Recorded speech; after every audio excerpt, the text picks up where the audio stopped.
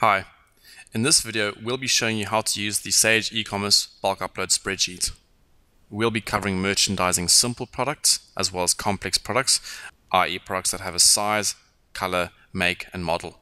Should you require further input, there are tooltips available at the end of each cell. The first product example we'll look at is the Sims Guide shirt. Let's have a look on the website page so we can see how the product is going to be visually displayed before we get started in the merchandising application. Points to note, the product's main image, product breadcrumbs, then we have the selector size and selector color variants. In the product tab on the merchandising spreadsheet, each main product needs to have a unique product ID. The name of the product will be the title. The image will be the main image that's displayed for this product. Please note that the image name needs to be identical to the image supplied to your website builder. Here's the product description, which is displayed over here. Then if we scroll further to the right, we can see that we can add additional images over here by listing the image name into an image gallery. This is the important step when setting up a complex product. Under the column dim1, which stands for dimension name 1, we need to list the dimension name of size and then we'll create a second dimension name of color. These are the two options that are displayed over here, the size and color. So how do we set each product SKU code to a dimension? We can do so on the SKU tab over here. So in the SKU tab, we list every single SKU that we want to combine into the one product. If each SKU has a different color and we'd like to display a different image based on what color is selected, we can name the images over here. Here is the dimension field that we specified on the product tab. Size equates to large, medium, small, extra large, etc. etc. The second dimension is color, so we can specify that over here with graystone and khaki. If we have a third dimension, that value might be listed over here. It could be a material like nylon, ripstop, cotton, etc. Heading back off to the product tab, if we scroll further to the right, we'll see that we can also add a category path. This essentially places our product into the category of choice.